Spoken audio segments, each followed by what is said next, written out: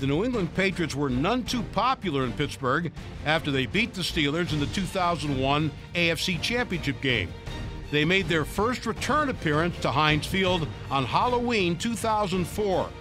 They arrived not only as defending Super Bowl champions, but winners of 21 consecutive games. But this Halloween, there would be no treats for them. After the Patriots opened the scoring with a field goal, the Steelers proceeded to demolish the Pats. Pumps once.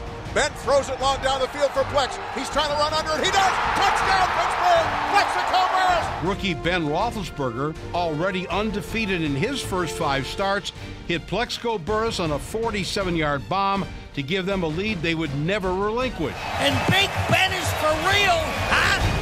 Now it was the defense's turn. On the next drive, Joey Porter forced a Tom Brady fumble. Sheds one man. They hit him and the ball is loose. Is it a fumble? Yes, the Steelers apparently have it. Are they going to call? Yes, Pittsburgh ball. After the Steelers' recovery, it didn't take long for the dynamic duo of Ben and Plaxico to hook up again. Timing pattern, left side of the end zone. Plex with a dive. Plex with a touchdown. His second of the day. A four-yard beautiful butterfly thrown by A four-yard score to make it 14 to 3. But the best and sheer pandemonium was just 16 seconds away. Brady and the Patriots, unaccustomed to being behind, let alone losing, were unsettled. On the first play after the kickoff, Kimo von Oelhoffen and Chris Hoke provided the pressure.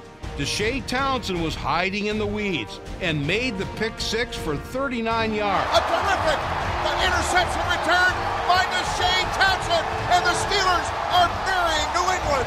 Townsend would later say he studied that formation all week and he knew where Brady was going with the ball. 21 to 3, game all but over. The thing I remember most is after that interception, I have never heard Heinz louder before or since. The place was shaking. It was delirium. I can still hear it and feel it. It resonates to this day. The final was 34 to 20. And although they would lose to New England in the AFC Championship game at Heinz Field later in that 04 season, I believe this game was the building block to a Super Bowl championship the following year. This is Stan Savran with a Steelers perspective.